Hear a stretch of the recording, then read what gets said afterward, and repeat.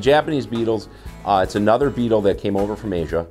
Um, it's here to stay. They, they kind of look like a ladybug, but they're, they're iridescent. They're green, um, little black around the wings with little white tips. Once you see them, you'll, you'll never miss them.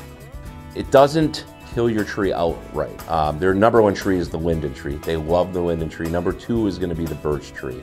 Uh, when you start to put trees under stress, uh, other pests come. You know, so the Japanese beetle will defoliate your tree. It's not going to kill it. However, now it's under stress. Here comes birch borer. Now, birch borer will kill your tree. Um, the thing you can do with Japanese beetles is just basically manage the population because you're never going to get rid of them. You can plant trees that aren't on their host list. Uh, they have a mighty big host list. So, you know, consulting with an arborist, that'll help you out.